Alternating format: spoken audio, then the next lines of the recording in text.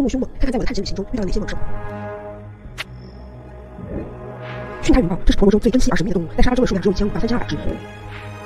海岛竹叶青，科莫多岛上的一种蓝色蝰蛇，无形一般，它拥有绚丽无比的蓝色，也有绿色、棕色的个体，但这样的蓝色无疑是最美的。斑鬣狗，鬣狗科中最大的一种，拥有哺乳动物中最强的咬合力，与文学作品中善于偷塔的负面形象不同是，鬣狗是勤劳的捕猎者，相比狮子，对人的攻击性低很多。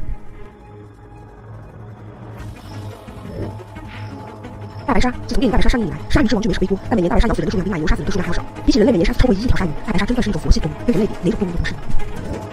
马来熊，除了婆罗洲，也分布于我国的云南、四川和西藏。最大的熊体重超过一百五十斤。马来熊是唯一不公的熊，舌头特长，善于吃白蚁。聪明的皮毛是它们猎食蜂蜜最好的盔甲。熊虽小，但拥有极其锋利的爪子，是非常硬核的。科莫多龙，下颚分布着两个能分泌抗凝血剂的毒蛋白的毒腺，是世界上最大的动物。科莫多龙喜欢吃腐肉，口腔内充满细菌。在科莫多岛上，有个新加坡游客被科莫多龙咬伤了口截肢了，这种动物绝对不可以随便靠近。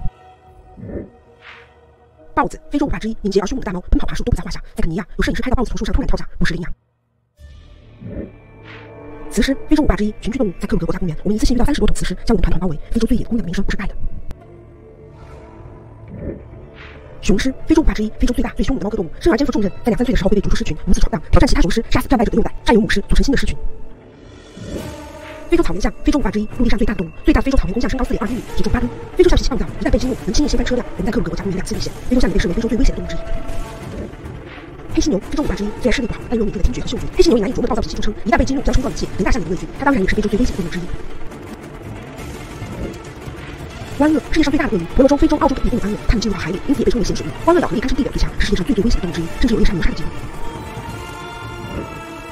第一名，没想到吧，居然是红牛，非洲鼠牛，非洲五霸之一，有着黑死神的称号，每年杀死超过两百人，更顶飞过无数猎食者，包括狮子。以不杀死入侵者不罢休的执拗著称，是不折不扣的牛魔王，非洲最最危险的动物。